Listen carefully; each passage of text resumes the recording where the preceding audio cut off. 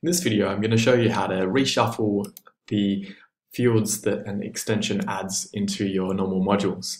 Some people find this annoying that, for example, if you install my round robin extension, it'll throw in a bunch of fields which are necessary for the extension to run, but are kind of in the way. The reason why they're in a random position, we'll see here if I go to the layout editor, is because when you create an extension, you don't actually have any way of telling Zoho where to put the fields. So Zoho ends up just throwing them any which way, which kind of works, but it's not that great. In this video, I'm going to show you what to do. You'll go to the layout editor of the module that you care about. I'm doing it for leads. And we can see here that We've got, for example, round robin processed, eligible round robin, setting found, email round robin owner, round robin assignment time. We're going to move all of those fields into a separate section. I'll make a new section down here.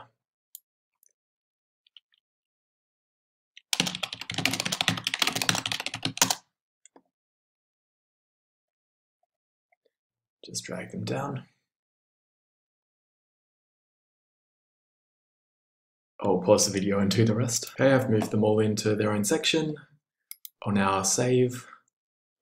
What I'm going to do next is set up a layout rule which will always hide these fields. We can't delete them from this section because then the plugin doesn't work, but we can use a layout rule so that they won't be visible to normal users, but they'll still work for admins. Click on layout rules here. Create a new one.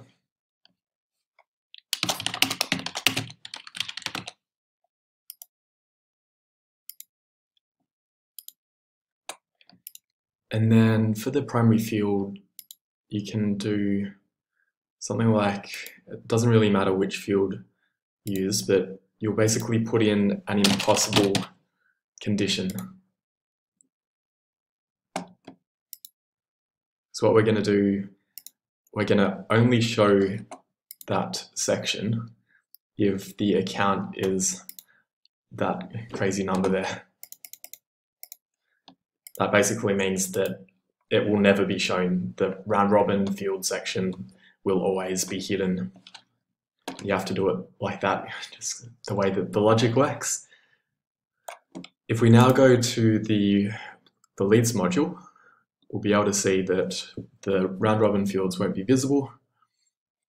And if we really wanted to show them, then we could type in something a bit crazy.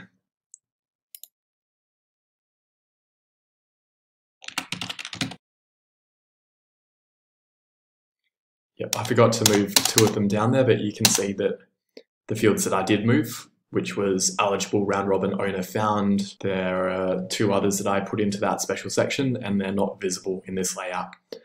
That's what you can do in order to clean up your layouts when you have installed some extensions into your CRM.